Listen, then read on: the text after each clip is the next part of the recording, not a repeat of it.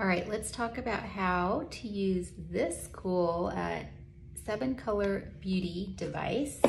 So it comes with pretty good instructions. Um, basically, it vibrates, it heats, and it has seven different color options and it tells you what the colors do. So I'm gonna um, probably be using this for anti-aging, uh, green light, smoothing wrinkles, blue light, soothing inflammation, purple light, promoting lymphatic drainage. Ooh, that's cool. Um, yellow light, reducing melanin production. Cyan light, reduce skin tension and swollen capillaries. White light, relax skin and accelerate growth and healing of skin cells. Okay, I like it. So to use it, uh, it says to wash your face, apply your favorite skincare products evenly, which I've already done. Press the power button for two seconds to turn it on. So I've been charging this, so it should be ready to go.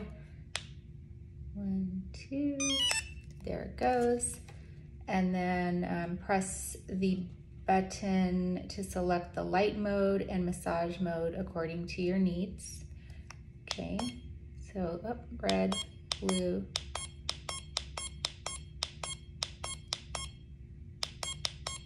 Uh, place the massage head against your skin and massage from bottom to top. Press for two seconds to turn it off after use. All right.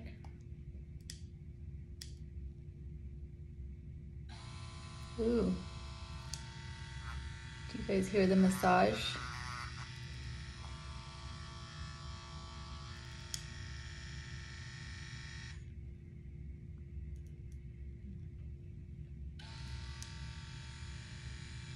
Wow, all right, I like it.